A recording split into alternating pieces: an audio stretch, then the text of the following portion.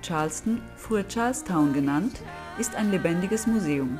1500 historische Gebäude befinden sich auf einer Fläche von nur 4 Quadratmeilen.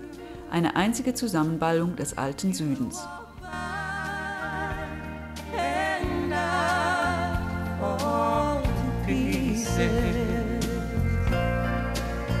You are